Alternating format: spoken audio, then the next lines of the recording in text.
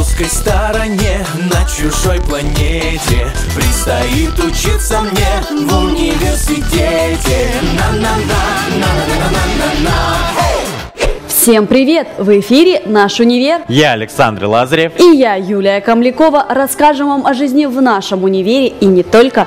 Сегодняшний выпуск нашей программы в преддверии праздника посвящен Дню Великой Победы. Не стареют душой ветераны. Заметки каждого дня и военные воспоминания писателя-публициста Анатолия Зябрева. Физическая подготовка как средство выживания в военное время. Ветеран войны и спорта Владлен Кузнецов всегда в строю. Война глазами ребенка. Что знают о ней дети сороковых и современные школьники? Саша, ты никогда не хотел стать писателем? Юля, я читателем-то себя не могу заставить стать, потому как больше люблю кино и телевидение. Но ведь прежде чем какая-то история будет экранизирована, ее должен кто-нибудь написать. И лучше всего, если это будет непосредственно участник событий. Как, например, герой следующего сюжета.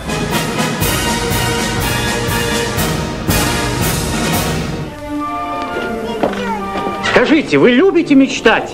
И я люблю мечтать, товарищи. Этот эпизод знаком многим любителям кино, но далеко не все знают, что фильм «Вот моя деревня» был снят по книге нашего земляка, известного писателя-публициста Анатолия Зябрева. Человек с большой буквы, ветеран Великой Отечественной войны, Анатолий Ефимович обладает огромным жизненным опытом. Когда исполнилось 17 лет, нас стали готовить для фронта. По пути нас бомбили почти каждую ночь. Судьбу Анатолия Зябрева нельзя назвать простой. Он рано лишился отца, осужденного по политической статье, и стал ощущать себя кормильцем семьи с пятилетнего возраста. В 14 начал работать на заводе слесарем и электросварщиком, а в годы войны Анатолий Ефимович служил в войсках МВД. Осталось, конечно, много скрытых фашистов. Вот наша задача была вот, их находить в 2007 году Анатолий Зябрев опубликовал книгу про войну, о нелегком пути, который прошел его батальон. Вот написал я вот эту книжку, называется «Мальчишка с большим сердцем».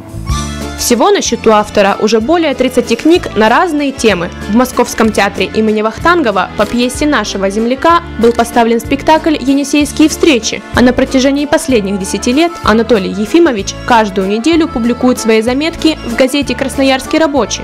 Я где-то в отдельных полосах даю, опять же, воспоминания про войну. День сегодняшний и те проблемы, которые существуют в России и вообще в мире. Цель автора – привлечь внимание читателей к тому, что происходит в мире. На вопрос «Вам никогда не хотелось написать фантастику?» Зябрев уверенно отвечает. Нет э, большей фантастики, чем сама жизнь.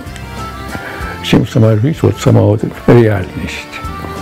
Только просто заглянуть мне глубже эту реальность. Несмотря на возраст, Анатолий Ефимович находится в хорошей физической форме. Считает, что главный секрет долголетия – любить весь мир, любить жизнь. А нам, современной молодежи, Анатолий Ефимович желает лишь одного. Чтобы сохраняли себя, сохранили всю природу. Только лишь сближение с природой может дать им здоровье и истинное счастье жизни.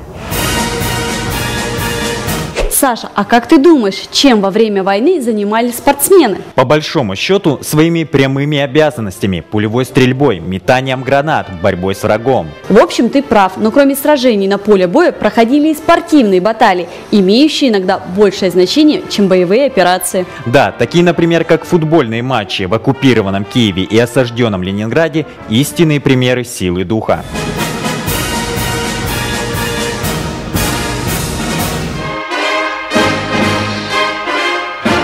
Великая Отечественная война длилась долгих четыре года. Вместе со всем советским народом на защиту Родины встали те, кто в мирное время славил свою отчизну спортивными рекордами. Каждый спортсмен в бою стоит нескольких рядовых. Даже в суровые сороковые в стране сохраняли спортивные традиции, но спорт в основном был направлен на подготовку солдат к боевым действиям на фронте и в тылу. Газеты военных лет сообщали о событиях не только на фронте. Например, из подшивки газеты «Красноярский рабочий» я узнала, что в феврале 44-го состоялся молодежный кросс для подготовки бойцов-лыжников. Наш земляк Владлен Григорьевич Кузнецов является не только ветераном Великой Отечественной, но и ветераном красноярского спорта. В 17 лет он вступил в ряды советской армии, служил в должности разведчика, стал кавалером орденов славы второй и третьей степени, ордена Красной Звезды, награжден медалью за взятие Будапешта. Воевал на всех четырех украинских фронтах, прошел с боями пол Европы. Великую победу встретил в Австрии. Господи, это, это, это такое радость, такое счастье, таких не, не прятаться, не, не мухнуть, не, не доедать, не досыпать. И вдруг такая вот э, мирная жизнь. Владлен Григорьевич считает, что спортивные навыки во время войны пригодились как никогда, помогали выстоять в самых трудных ситуациях. Наш герой признается, что спорт во время войны был единственным развлечением. Командир роты классный волейболист. Сразу марлю пришли только на привал, натягиваем это и волейбол играть. Вроде пройдешь 30 там с лишним километров, все только на теле и сюда не надо, да, это играли. Война закончилась, а наш герой был демобилизован лишь спустя пять лет. Восстанавливать силы после войны помогал опять же спорт. В армии начались э, постепенно возрождаться традиции спортивные. То есть проводить стали первенство округов, первенство частей, первенство дивизий. Просто интерес к жизни какой-то снова вновь появился. Всю свою жизнь он активно занимается спортом. Играл в футбол, увлекался хоккеем с мячом, затем стал тренировать команды. Сын и внук нашего героя пошли по его стопам, тоже стали спортсменами. Более 25 лет Владлен Григорьевич был спортивным корреспондентом газеты «Красноярский рабочий» и спортивным комментатором на радио. Прихожу да, в редакцию, в редакцию мне говорит, слушай, э, мы знали тебя так как скромного, как такого очень застенчивого человека. Ну, как ты нахально отвел этот, говорит, репортаж.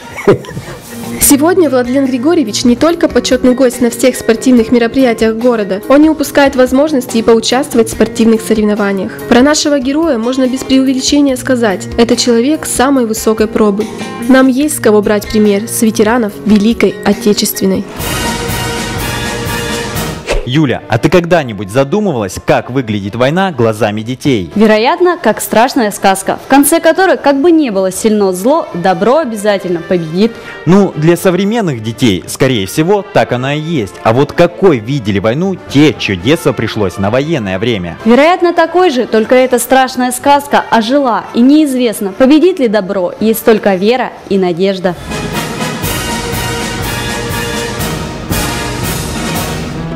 Урок в третьем Б-классе. Тема «День Победы». Несмотря на юный возраст, школьники понимают значимость этого праздника и могут рассуждать на тему войны.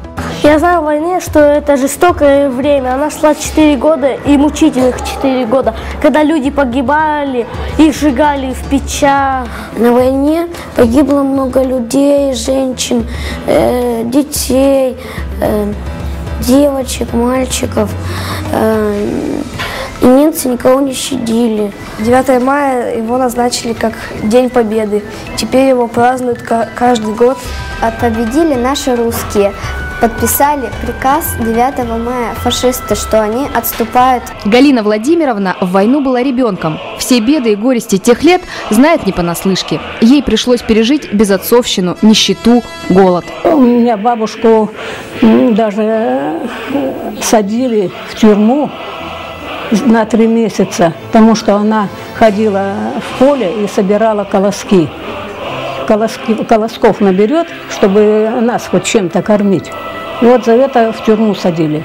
Мы с Кириллом и с Андреем бежим к тем гаражам. Кто из нас в детстве не любил играть в войнушку? Действовать сообща и тайком, стрелять холостыми, оказывать первую медицинскую помощь.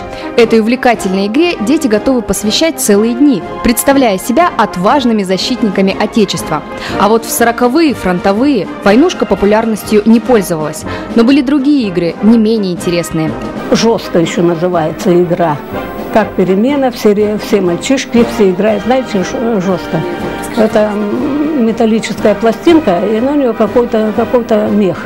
Ну, прикрепляли, и ногой, значит, как бы вот так вот э, подбивали, кто сколько, кто сколько набьет. Любимое занятие всех детей – рисование. Дети войны не имели представления ни об альбомах, ни о цветных карандашах. Ну, если один карандаш был, то это хорошо. Не было же у нас. Бумагу завернут в магазине, тогда же на этих бумагах писали. У современных детей есть все, чтобы воплотить свои задумки на бумаге. Я нарисовала вечный огонь. Я выбрала этот рисунок, потому что мы с мамой каждый год туда ходим. Я нарисовал танк. Здесь танкисты, которые один танки стоят, а другие идут за ним. Я нарисовала танки, потому что мой дед, прадедушка, прапрадедушка, он был танкистом. Как много друзей хороших. В преддверии Дня Победы школьники активно готовят свои поздравления ветеранам, разучивают песни и стихи. Немного осталось из тех, кто в боях прошли до Берлина полсвета, в мороз и пургу, через горе и страх. Пусть вспомнят живые про это. Так было, внезапно настала война, пришли небывалые беды, и все, что могла, отдавала война для фронта, для славной победы. Со дня окончания Великой Отечественной войны прошло уже 67 лет. Но подвиг наших воинов-победителей будет жить вечно в памяти народной. Они подарили будущее детям всей земли. В любое время вы можете зайти на наш сайт нашунивер24.рф, а также приглашаем нашу группу ВКонтакте. Все сюжеты программы вы можете посмотреть на интернет-порталах «Вся Россия» и «Дельфик ТВ». Читайте о войне. Знайте о войне. Помните о войне. Чтобы она никогда не повторилась. С Днем Победы!